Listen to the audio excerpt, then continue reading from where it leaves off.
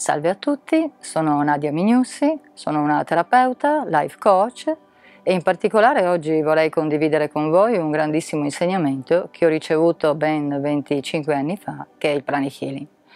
Il mio percorso è stato un percorso normale, di universitario, ho fatto l'Istituto Superiore di Educazione Fisica e poi un bellissimo percorso con la danza terapia e con eh, la psicoterapia.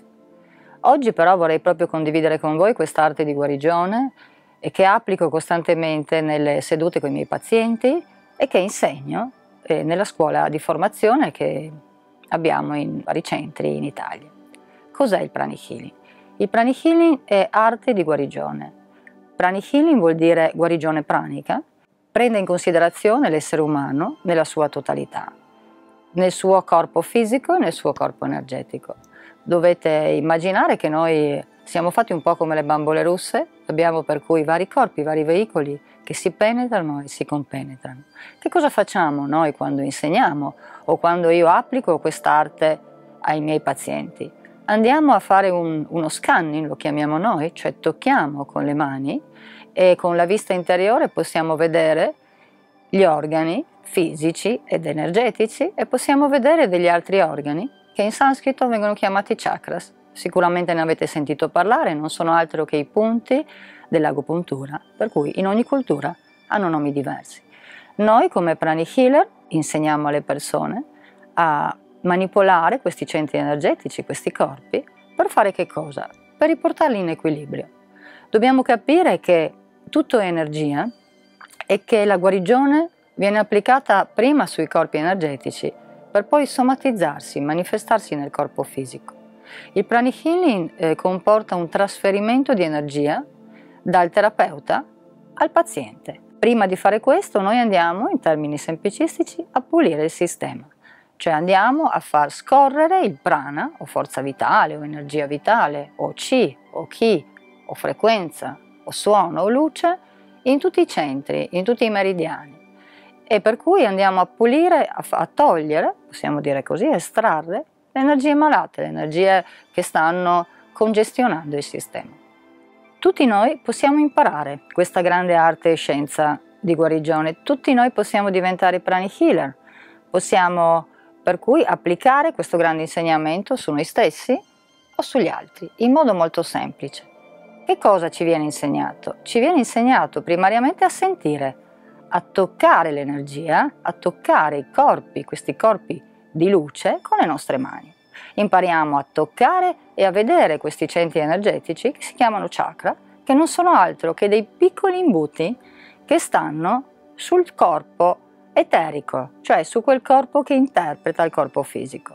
Immaginate i chakra proprio come imbuti e immaginate che girano, girano in senso orario per assorbire, per respirare, possiamo dire così, il prana. Il prana entra come una luce che entra all'interno di questo imbuto e poi scorre nei canali che sono i meridiani. Arriverà fino agli organi e per cui questo prana, questa forza vitale, va a sostenere la vita dei nostri organi. Dopo un po' il, chakra scusate, gira in senso antiorario ed espelle, cioè espira l'energia usata. Se questo sistema in qualche modo eh, si, si interrompe, ecco che allora può apparire uno squilibrio o una malattia o un disagio fisico, emozionale o mentale. Capite bene che studiando questa anatomia sottile, studiando e conoscendo come funzionano questi nostri corpi, questi chakra, noi possiamo intervenire. È come conoscere il motore di una macchina e poter per cui aggiustarlo. Questi chakra sono 11 e la loro facoltà è quella di energizzare e controllare gli organi, gli apparati del nostro corpo fisico. Ma non solo, immaginate, vi ho detto prima che siamo fatti un po' come le bambole russe, abbiamo dei, dei corpi, dei veicoli, per cui immaginate il veicolo, il corpo emozionale, che è quello pieno di colori, gestisce le nostre emozioni, il corpo mentale, eh, sono le bamboline più grandi, quelle che contengono la bambolina piccola che è il corpo fisico. Immaginate questi chakra che si espandono, si estendono in questi corpi e qui la loro funzione diventa funzione, fra virgolette, psicologica, cioè controllano e danno energia a delle funzioni psicologiche, cioè controllano le nostre emozioni, controllano i nostri pensieri e controllano anche quel nostro essere spirituale, chiamiamolo così, quella coscienza o quella presa di coscienza che possiamo avere di essere esseri veramente, possiamo dire, di luce, esseri fatti a immagine e somiglianza di Dio, cioè anime, anime che per cui abitano questi corpi di cui vi ho parlato così semplicemente, anime che hanno bisogno di avere dei corpi fisico, emozionale, mentale, spirituale sani, forti ed avere coscienza di questi corpi per potersi muovere sui vari piani della nostra vita. Io vi invito a, a venire a trovarci ai nostri centri ne troverete l'indirizzo sul nostro sito che è www.ifitalia.com. Vi invito a visitare in particolar modo la pagina che parla della scuola di formazione. È un triennio che vi dà la possibilità di diventare degli operatori olistici nel pranic cioè dei pranic.